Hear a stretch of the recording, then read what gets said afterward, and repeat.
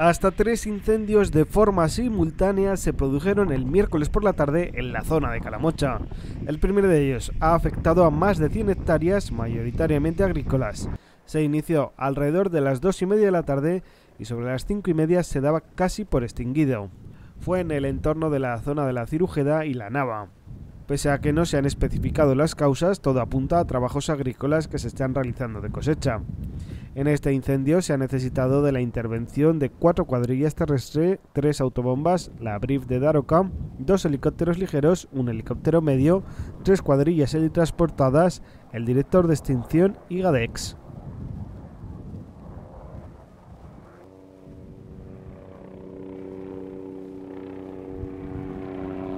Asimismo, en Lechago se reactivaba a esa misma hora de la tarde, en torno a las 5, el incendio que habían extinguido entre la vía del tren y el puente de la autovía por la mañana.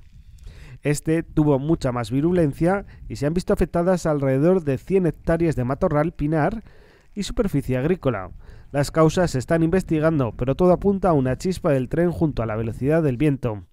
Hasta allí se desplazaron cuatro cuadrillas terrestres, tres autobombas, puesto de mando avanzado, brief de Daroca, dos helicópteros ligeros, dos helicópteros medios, cuatro cuadrillas transportadas, dos aviones de bombardero anfibio, helicóptero de coordinación, director de extinción y GADEX. Además, en Lechago se instaló el puesto de mando avanzado del 112 del Gobierno de Aragón para coordinar los trabajos al elevarse la situación operativa a nivel 1.1 para solicitar apoyo a medios a Cataluña y este envió un helicóptero.